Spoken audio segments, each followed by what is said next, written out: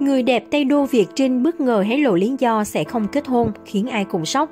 Ngay sau khi đăng ký hiến tạng, nữ diễn viên Việt Trinh khẳng định chị sẽ không kết hôn mà tiếp tục sống một mình chăm sóc con trai.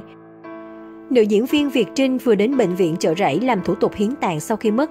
Người đẹp Tây Đô cho hay, chị suy nghĩ về hành động này trong suốt 2 năm qua, tới khi xem clip nói về một người bị tai nạn hiến tạng sau khi mất và cứu được 5 người khác, khiến chị quyết định thực hiện. Việt Trinh nghẹn ngào chia sẻ lý do thực hiện nghĩa cử hiến tạng. Khi mất đi, tôi vẫn mang đến niềm vui cho người khác, cho gia đình của họ và giúp họ làm tiếp những việc có ích cho cuộc đời.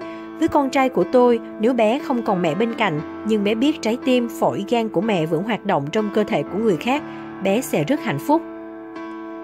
Trong những năm thập niên 90, Việt Trinh được xem là một nữ diễn viên nổi tiếng hàng đầu của điện ảnh Việt Nam. Với khuôn mặt đẹp và lối diễn xuất duyên dáng xuất thần, Việt Trinh đã trở thành ngôi sao điện ảnh gây nhiều sóng gió ở các rạp chiếu phim thời bấy giờ. Việt Trinh đóng phim từ những năm 1980, chủ yếu là vai phụ hay vai quần chúng. Cô chỉ thật sự được khán giả biết đến khi đảm nhận vai chính trong phim Ngọc trong đá, đạo diễn Trần Cảnh Đôn. Từ đó cho đến những năm 1990 là thời hoàng kim của Việt Trinh. Năm 1996, phim truyền hình Người đẹp Tây Đô gắn liền với tên tuổi của Việt Trinh được công chiếu. Tuy nhiên, hai cuộc tình với Phạm Huy Phước và Trần Văn Giao, những nhân vật vướng vào vòng lao lý, khiến toàn bộ sự nghiệp của Việt Trinh gần như tiêu tan.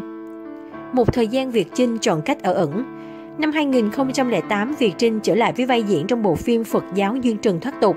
Những năm sau đó, Việt Trinh có góp mặt trong các phim Những đóa hoa tình yêu và Câu chuyện cuối mùa thu.